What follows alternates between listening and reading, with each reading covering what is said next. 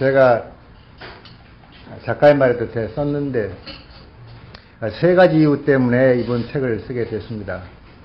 아, 첫 번째는 그동안의 죄에 대해서 아, 특히 태백산맥과 연관되어 있는 그 사회적인 무리를 많이 일으켜서 어, 거기에 대한 궁금증이 독자들이 많습니다.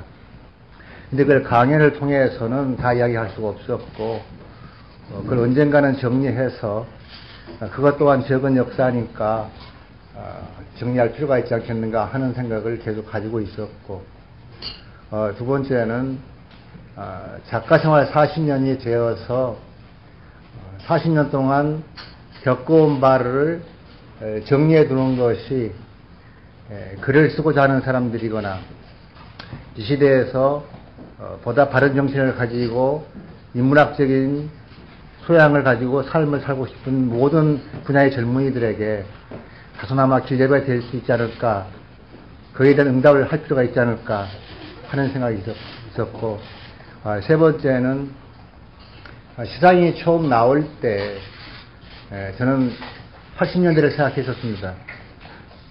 작가가 고난을 감수하는 것은 시대의 진실과 시대의 양심을 지키고자 하는 책무 때문입니다. 그것은 곧 비판 정신인데 긍정을 위한 부정을 하는 것이 작가의 정신이라고 한다면 언론은 그보다 훨씬 더 강력하게 사회의 모순과 갈등을 비판하고 감시할 책임이 있습니다. 그 임무를 하고자 모두 편안하게 사는 세대에서 다시 무거운 짐을 지고 가는 사람들이 있었습니다. 그들이 굉장히 어려운 길을 걸면서 출판사를 찾았는데 제가 좀이라도 도움이 될 수 있다면 그 집에서 책을 내는 게 바른 게 아니겠는가. 그래서 지난 7, 8월 동안 무더위를 무릅쓰면서 1,500매의 원고를 썼습니다.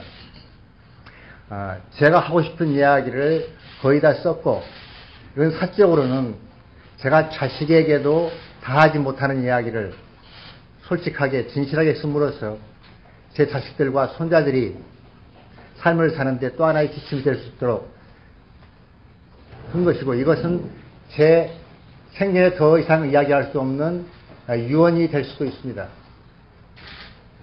제가 바라는 것은 이 시대를 사는 미래의 주역들에게 작은 디딤돌이 되기를 바라고 그들의 삶의 길벗이 될 수 있다면 이 책이 갖는 소임이 다 이루어지는 거라고 생각합니다.